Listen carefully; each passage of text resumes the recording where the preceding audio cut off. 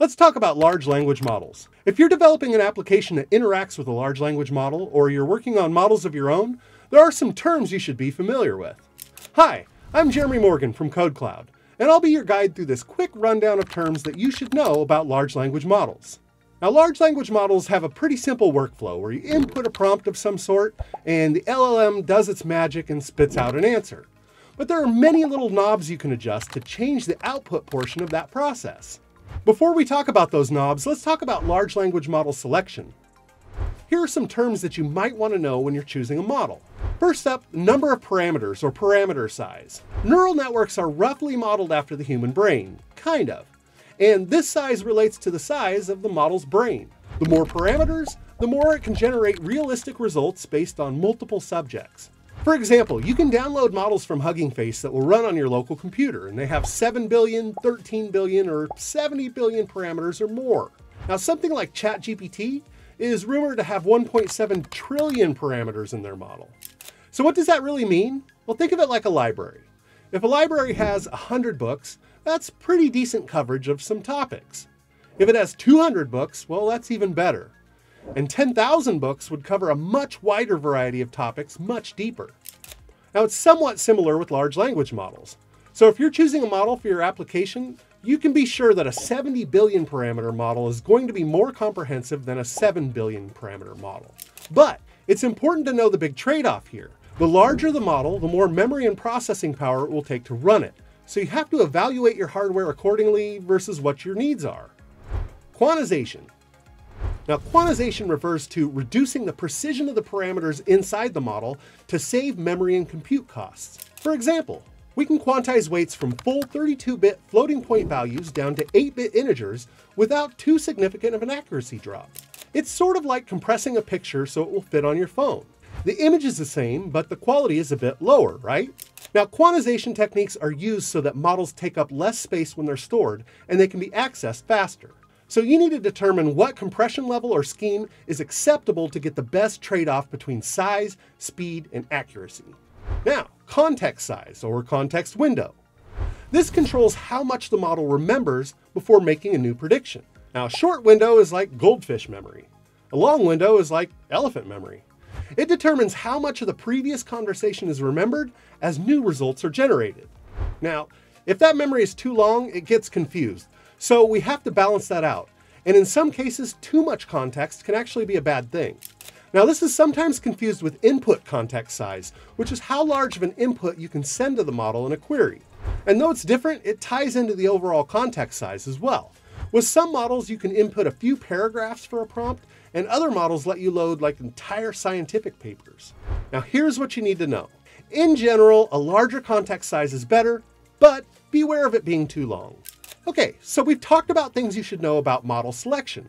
Now, once you've chosen your model, or if you've built your own model, here are some knobs that you can turn to fine tune the output of the model. Remember, large language models are a probability distribution over sequences of words.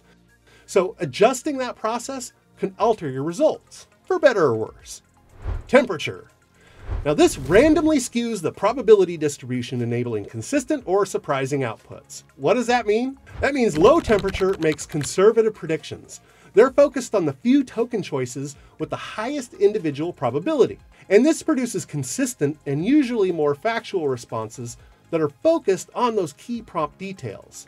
Now, high temperature smooths out that distribution, allowing more randomness and silliness. And sometimes a higher temperature will produce more output and more results. Here's what you need to know here. Temperature should be tuned based on your application needs. So do you need it to be really consistent and predictable? Do you need creativity, surprises? Adjust the setting until you get the results you're looking for. Now, top P, or nucleus sampling, takes the smallest set of the highest probability tokens that sum up to greater than P percent probability. So what the heck does that mean? Well, with a higher top P setting, like 0.8, a model must consider options comprising 80% probability or more before acting, and it ignores the rest. Now, in this case, we'll select anything over 80% probability and ignore the rest. Higher p-values will produce more expected, predictable responses because it concentrates probability on the best options. Lower p-values allow more diversity in responses, which includes more randomness, which can be useful as well top K. Then we have the top K parameter. This filters model suggestions down to the top K most likely candidates, and it's an integer.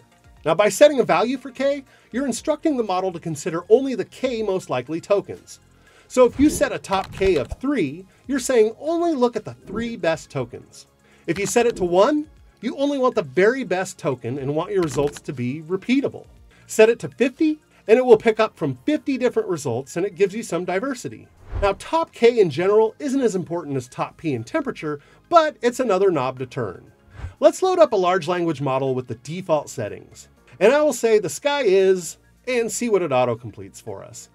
Notice as I ask over and over, we get the same result. It's the obvious result, right? Now what happens if we tweak the temperature? We can see now with a higher temperature, we get different, more creative results.